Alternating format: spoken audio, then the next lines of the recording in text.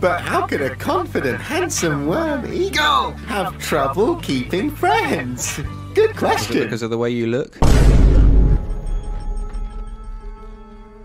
The way I. Yeah, all sort of lumpy and red raw. I don't think Is it that's. because you look like a bit of a bigger animal that fell off, was removed, actually uh, it's More like an old choice. person's finger. Reminds me of an infection I had up my. Or was it the voice? Any stings?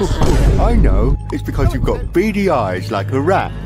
Or you're just generally unlikable in a way that's hard to pin down?